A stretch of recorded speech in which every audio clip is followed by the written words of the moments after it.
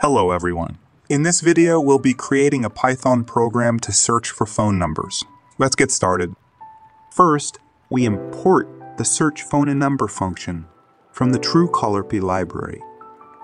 This function allows us to search for information related to a phone number. Next, we define a function called log_a_database, which takes in data and logs it to a text file. This function will help us store the information we retrieve from the TrueCaller app. Before we begin, let's obtain our TrueCaller API key. To do this, run the provided code on the screen in your terminal. After executing the code, enter your mobile number. You will receive an OTP on your phone number. Enter the OTP and you will get your installation. Uh, with this, we can continue with our program.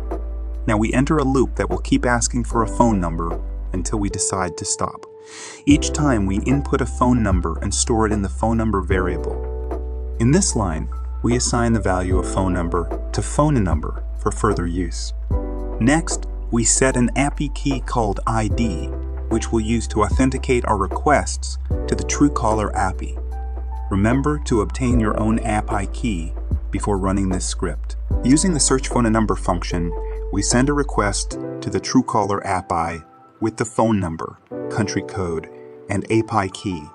The APEP, the AP will respond with information related to the phone number. We extract the relevant data from the response and display the name associated with the phone number.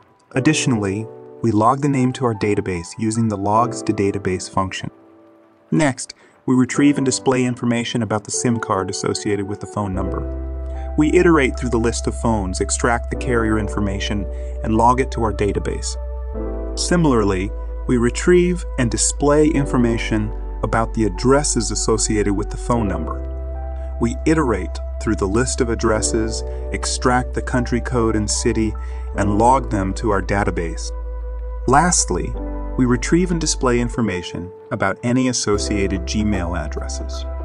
We iterate through the list of internet addresses, extract the Gmail IDs, and log them to our database. After each iteration, we print a separator to separate the results for each phone number, and we log the separator to our database. And that's it. We've created a Python program that uses the Truecallerpy library to search for phone numbers and log the results. You can customize this script further to suit your needs, such as adding additional logging or error handling. Remember to handle your API keys securely and responsibly. Thank you for watching. If you found this video helpful, don't forget to like and subscribe for more programming tutorials. If you have any questions or suggestions, please leave them in the comments below.